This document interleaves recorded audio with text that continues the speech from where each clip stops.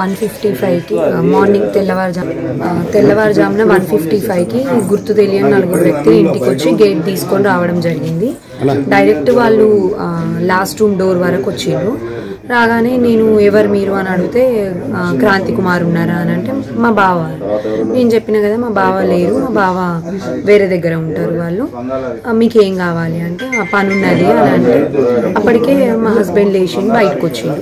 ఏంటిది ఎవరు మీరు? ఈ రాత్రి వచ్చి నువ్వు లోపలికి అనగానే లోపలికి వచ్చేసిన. మీరెవరు అని అడిగితే నేను వాళ్ళ తమ్ముడిని అవుతాను భూపాల్ అని చెప్పి.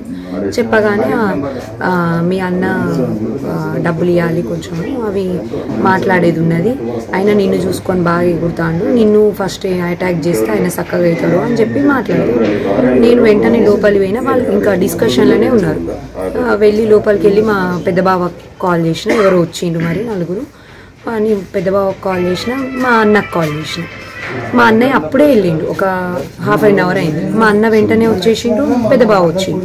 వచ్చే లోపే వాళ్ళు నేను ఇక అది అదేం లోపల నుంచి కత్తి తీసి ఇక రెడీగా ఉన్నారు పొడవడానికి. అక్కడ మా బావ ఉండి అరవగానే నేనేం చేసిన ఈ నలుగురు మీద కారం జల్లగానే ముగ్గురు గేట్ దునికి జంప్ అయిపోయి వెళ్ళిపోయింది గోడ దునికి ఒక్క దాని మీద కారం కరెక్ట్ పడే వరకు ఆయన స్టాప్ అయిపోయింది స్టాప్ కాగానే ఇక ఈయన మా బావ వీళ్ళు ఏం చేసింది? నెట్టగానే కింద పడిపోయి దెబ్బ తాకింది. ఇట్లా ఆయన మీద నైట్ అటాక్ అయింది. నైట్ వెళ్ళి పోలీస్ స్టేషన్లో ఇప్పుడు ఆ దొరికిన వ్యక్తి ఆయన వాళ్ళు నలుగురు ఆటోలో వచ్చిండ్రు. ఐదుగురు ఒకరు అందులోనే ఉండే నలుగురు లోపలికి వచ్చిండ్రు. నలుగురు పారిపోయిండ్రు. ఆ ఒక్కతన్ని దొరికిన తన్ని తీసుకొని వెళ్ళి నైట్ పోలీస్ స్టేషన్లో ఫైల్ ఎఫ్ఐఆర్ ఎఫ్ఐఆర్ చేసి వచ్చేసి